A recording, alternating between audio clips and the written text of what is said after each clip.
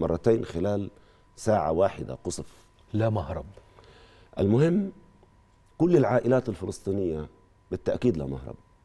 تعرضت لما, لما لا يمكن للعقل أن يحتمله من قتل وإبادة وتشريد. وافتح قوسين أنت والمشاهدين الأعزاء لوصف الحالة الفلسطينية لنقل نحن كأبناء قطاع غزة فقدنا في قطاع غزة نتيجة العدوان كل شيء. فقدنا أقاربنا أمهاتنا أبنائنا أعزائنا إخوتنا أخواتنا ممتلكاتنا أموالنا.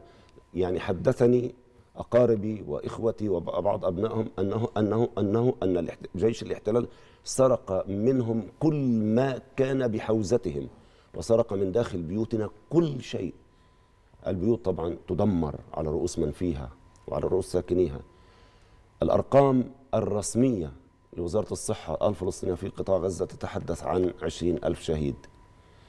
لكن دعني أكشف. لم تنهار فقط المنظومة الصحية في قطاع غزة بل وزارة الصحة الفلسطينية نفسها انهارت.